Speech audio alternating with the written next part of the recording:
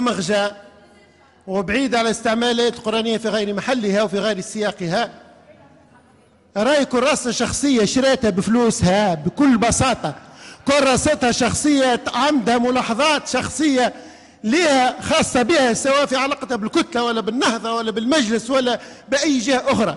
رأي هذه معطيات شخصية لا يجوز المساس بها ولا استعمالها.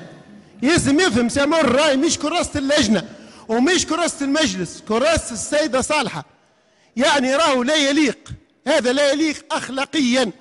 إيش فيها من مضامين ونحاسبوها؟ ما نحاسبوهاش هذه مسألة شخصية تعنينا إحنا ككتلة ولا كحزب. راهو ما يجيش. وأنت تستعمل في الآيات القرآنية راهو هذا ما يجيش. راهو راهو راهو هذا نوع من واحد يتسلط على على على فضاء خاص بشخص وياخذ لا يجوز. وانت تستعمل في القرآنية يا سي. راك انت اهنت زميلتك واهنت امرأة تونسية معاك نايبة. وخذ كان الحديث نتاع النبي صلى الله عليه وسلم ما أكرمهن إلا كريم وما هنهن إلا لئيم.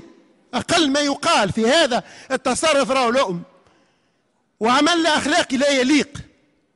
راي كراستها كراستها مش كراسة لجنة. وأنا رئيس لجنة؟ عندنا مستشار عنده المحاضر الكل يكتبها ويدونها ويجيب لي نصح فيها. كيفك؟ أنا رئيس لجنة. عندنا زوز مقررين مستشارين من الإدارة محايدين. يسجلوا كل التدخلات ويجوا يعطونا المحضر ونمضوا. الرئيس والمقرر. وانت تخدم فيها الخدمة هذه. مش الكراسه الخاصة نتاع المقرر نتاع اللجنة من اللجان. ما نعملوش مغالطة.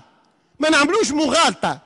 وانت اهنتها وفكيتها الكراسة واستوليت عليها وتحكى الاستيلاء والسطو وانت عملت سطو واستيلاء عمل أخلاقي. إحنا ما حبيناش نردوا عليك. قادرين باش نفكوها لك. قادرين باش يفكوا لك الكراسة بالقوة لكن ما يليقش بالنواب. راي اللي وقع مهزله راي مش تمس منك انت سمر. تمس من المجلس. تمس من هيبة هذا المجلس.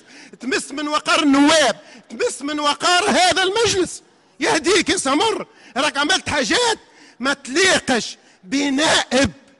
مش برئيس لجنة وعضو في التنسيق والصياغة. ورئيس معناه معاك مقرر. ما هذا سلوك راهو مرفوض اخلاقيا ويدان ويستحق كل الشجب. وشكرا.